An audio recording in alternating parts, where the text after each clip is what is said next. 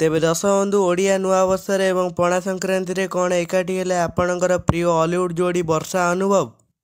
ଦର୍ଶକବନ୍ଧୁ ଆପଣମାନେ ତ ଜାଣିଥିବେ କି ଗତକାଲି ଥିଲା ପବିତ୍ର ପଣା ସଂକ୍ରାନ୍ତି ଏବଂ ପଣା ସଂକ୍ରାନ୍ତି ଉପଲକ୍ଷେ ସମସ୍ତେ ନିଜ ନିଜର ପୂଜା କରିବା ପାଇଁ ଯାଇଥିଲେ ମନ୍ଦିରକୁ ଏବଂ କୁଆଡ଼େ ଶୁଣାଯାଉଛି କି ଅଭିନେତ୍ରୀ ବର୍ଷା ପ୍ରିୟସିନୀ ମଧ୍ୟ ଅନୁଭବ ମହାନ୍ତି ଯାଇଥିଲେ ମନ୍ଦିରକୁ।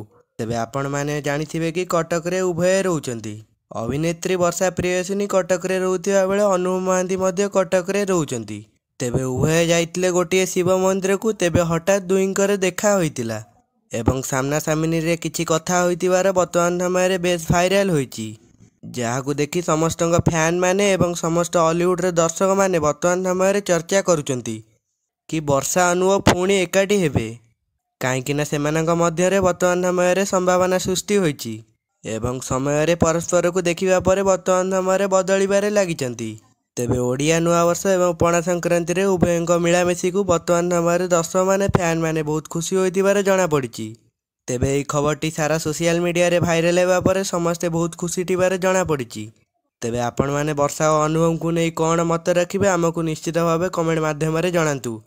ତେବେ ଦର୍ଶକ ବନ୍ଧୁ ଏଇଭଳି ବର୍ଷା ଓ ଅନୁଭବଙ୍କ ବିଷୟରେ ଜାଣିବାକୁ ଚାହୁଁଥିଲେ ଆମ ଚ୍ୟାନେଲକୁ ସବସ୍କ୍ରାଇବ୍ କରି ପାଖରେ ଆସୁଥିବା ବେଲ୍ ଆଇକନ୍କୁ ପ୍ରେସ୍ କରିଦିଅନ୍ତୁ।